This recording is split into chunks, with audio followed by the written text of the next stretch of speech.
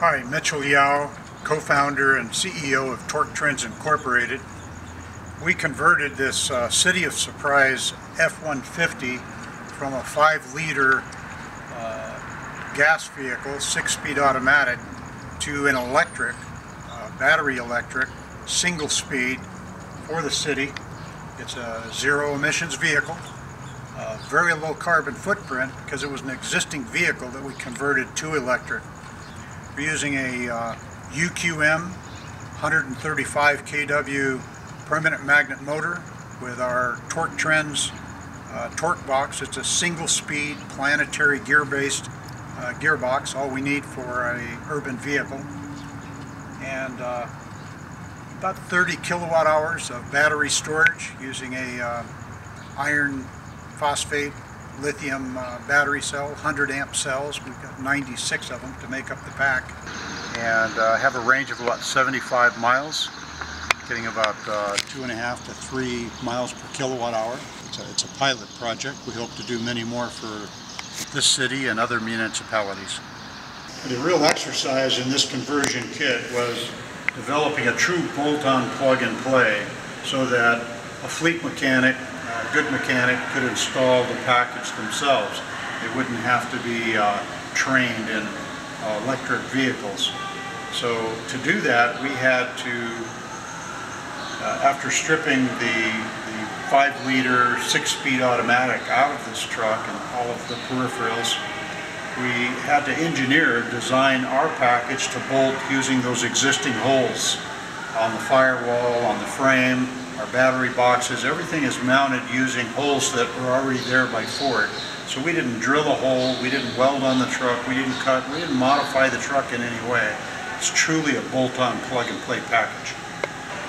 Okay, the truck uh, in finished form with uh, 96 batteries, about 75 mile range, uh, weighs just under 6,000 pounds.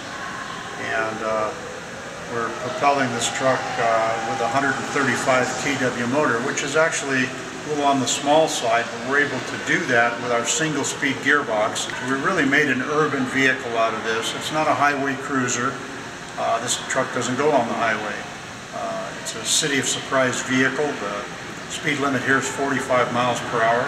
Uh, so it's really efficient as an urban vehicle. And it'll do it'll do 62 to about 65 at 7,700 RPM, but it's really designed its sweet spot is that stop and go 45 mile an hour driving.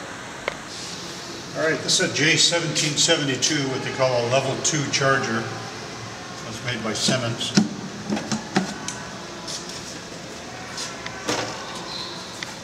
And we've got our charge port right in the front that's it. This is a uh, free charger, so there's no, uh, you don't need a card, uh, nothing, you don't pay. It's just a real simple system. The coolant pump on the uh, on the truck automatically uh, starts whenever you plug in. So as long as it's on charge and charging, it's putting electrons in. The coolant pump is going to be circulating, keeping the uh, charging the charger itself cool does have an onboard 3.1 uh, kW charger, DC to DC converter to drop the pack voltage down to 13 and a half volts to run the wipers and lights and turn signals. Okay, so this is the power distribution box. The battery power comes into here and we're running uh, 96 uh, 100 amp cells, so it's quite a bit of voltage coming in here and then from here it goes to the inverter which sits just below this box. Big cast uh, cast aluminum inverter that controls the uh, the motor the power that goes into and back from the motor. I say back from the motor because it is an AC motor so it's got strong regen capability and can uh, help uh, with the range by charging the batteries when we decelerate the motor basically becomes a generator and produces electricity back to the batteries. Yeah, and everything uh, here is water sealed. I mean, it's uh, it's automotive grade, uh, OE quality. The uh, power distribution unit is uh, gasketed. The battery boxes are all sealed. They're uh, spray tested, everything's, everything's watertight.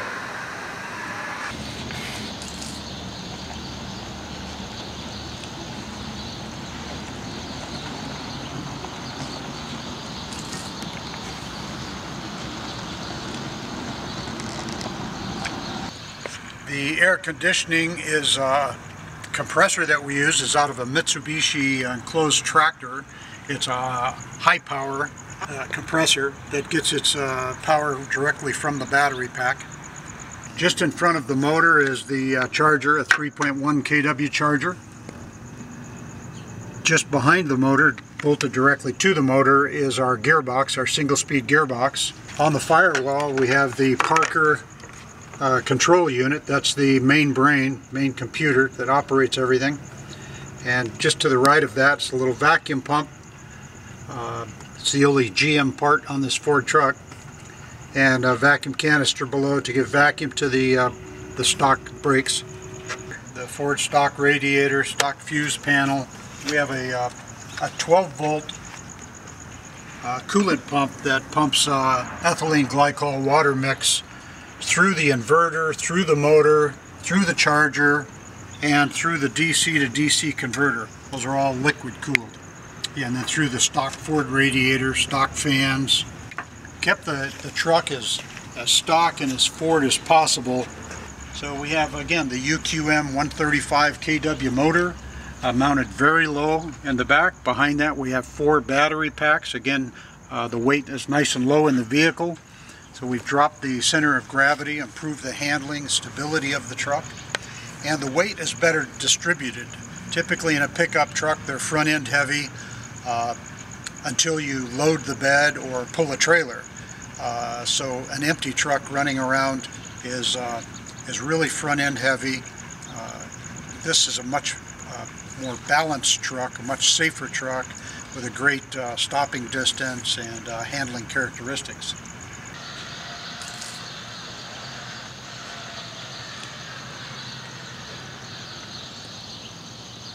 So the battery management uh, system computer sits on the floor below the uh, rear seat.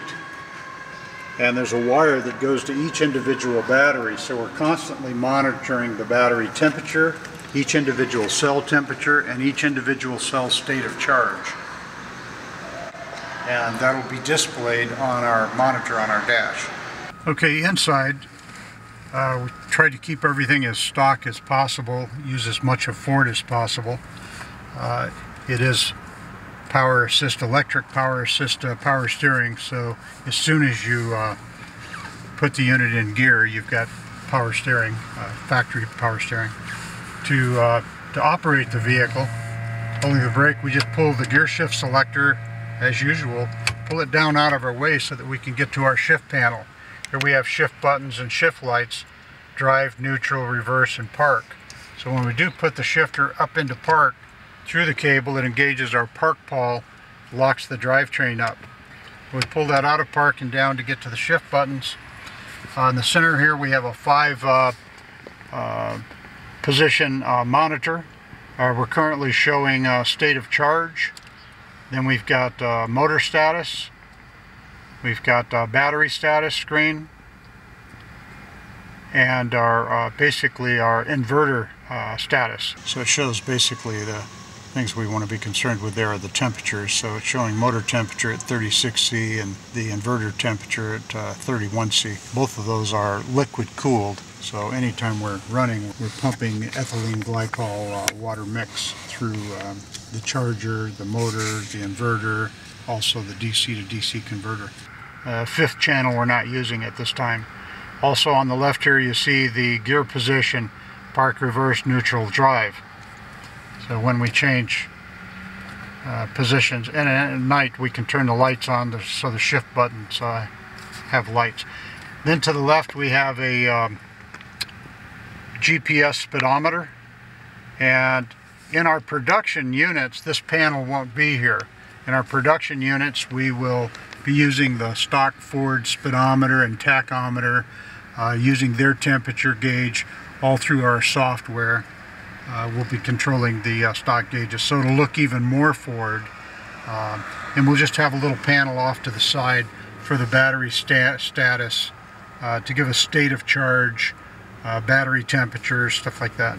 Then over here we do have a little paddle switch for the AC. Uh, it's really the only thing we had to add there. Other than that, your blower motor, your temperature controls are all stock Ford. But to actually kick the compressor on, we engage that. Now, we sized the battery pack on this truck so that we have uh, plenty battery for uh, keeping the cab cool on a job site, that type of thing. If you're doing paperwork in the truck, uh, inspecting a job site, that type of thing. Not actually driving, but beyond the driving range, uh, you've got a, a, an hour or two hours worth of AC. It is a high-powered AC compressor that does get its power from the battery pack. So UQM motor, torque trends gearbox, the uh, electronics and the software uh, from a com company called New Eagle. Uh, they're out of Michigan. And uh, then the truck was wrapped by a local uh, company called ABD Printing. They did a great job with the wrap. Thank you for watching this uh, video. You can contact Torque Trends for any additional information uh, at uh, info at torquetrends.com or our uh, corporate phone number 623-755-6021. You can find our website at uh, torquetrends.com. Thank you.